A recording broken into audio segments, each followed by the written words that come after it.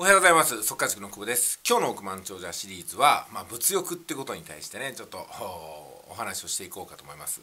あの物欲がないっていうふうに言うのって私はすごくねかっこ悪いことだと思うんですよ。いや物欲気づいてないでしょと。あとはねもしくはねこれは物欲じゃないんですよと。こっちの物欲ですよというふうに自分の都合のいいところで物欲を分けてると思うんですよ。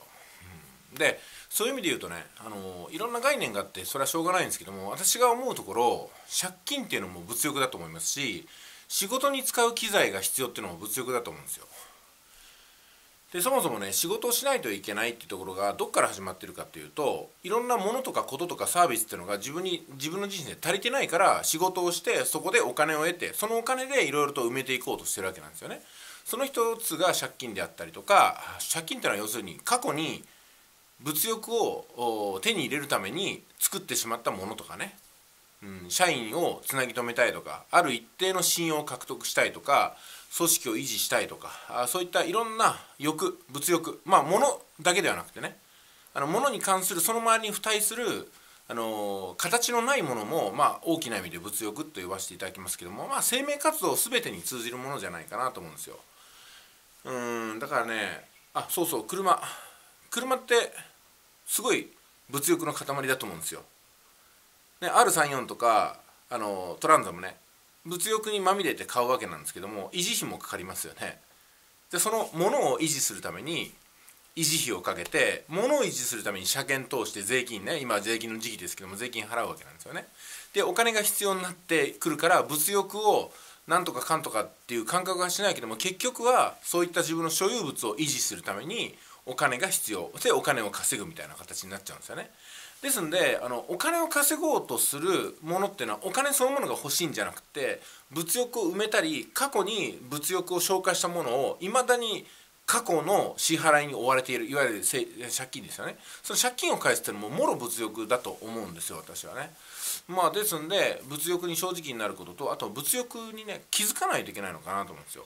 私はこれが欲しいからっていうのもね明確な物欲ですけどもこういう昔の歌詞があるから失敗とかねそれから負債があるからそれを返すためにやってんだとそれは過去に、えー、物欲もしくはお金が必要な時にそのお金がなくって未来永劫にわたるまで今に至るまで、えー、返済を伴う借金というものをねしてしまったその穴埋めに今ビジネスをしてるってことなんでうんまあ守備一貫してるんじゃないかなと思うんですよ。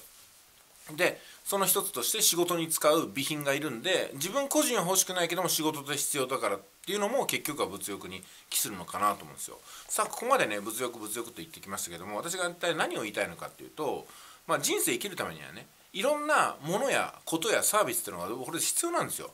だって何お昼にチャーハン食べようかなと思ったらチャーハンのネタを買ってこないといけないじゃないですか。これ物欲ですよね思いっきり。だこれは食欲とかは物欲じゃないんだよとか家賃は物欲じゃないんだよっていうふうにきれいに切り分けようとしますけどもそんなことはないです。私は家に住んでます。一戸建てです。この一戸建て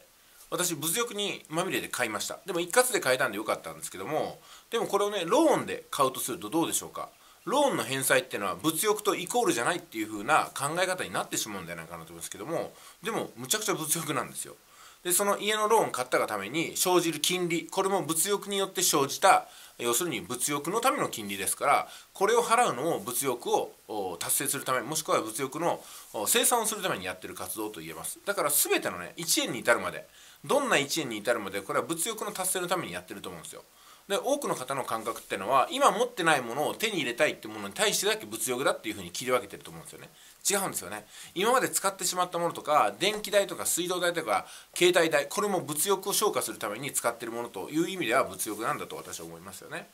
まあ、ですんでねやっぱ物欲をもっともっと自分にはものすごくね欲にまみれた心があるんだなってことを正直にしてえ借金を返すために働くこれもねむちゃくちゃいい動機だと思いますし多くの方共感すると思うんですよ。多くの方借金抱えてますからね。で借金に追われているがゆえに本当に借金どうやって返せばいいんだろうって思い悩みますけどもでも借金を返すために働いてます。それは当たり前のことだなと思うんですよ。家のローンを返済するために働いてます。車のローンを返済するために働いてます。みんな借金に支配されて、えー、働かざるを得ない状況になってるわけなんですよ。で、えー、片やですねもう借金なんて全くないと。でお金もそんなにビジネスしなくても勝手に生まれてるよっていう人こういう人に対してはじゃあ物欲がないのかなって言ったらこれはね物欲やっぱりあるんですよ。見つかるんですよ例えばね